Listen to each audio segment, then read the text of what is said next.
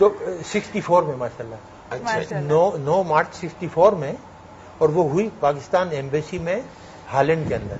अच्छा। और और हमारी हमारा निका पढ़ाया जमीलुद्दीन हसन साहब होते थे उस वक्त फ़र्स्ट सेक्रेटरी। अच्छा। और कुदरतुल्ला साहब सफीर थे। और आपको ताजुब होगा कि मेरी खुशकस्मती है कि जो मेरे निका नामे पे दस्तखत हैं हम्म। मेरे गवाह के तौर पे कुदरतुल्ला साहब साहब के हैं। अच्छा। अच्छा ज़बरदस्त।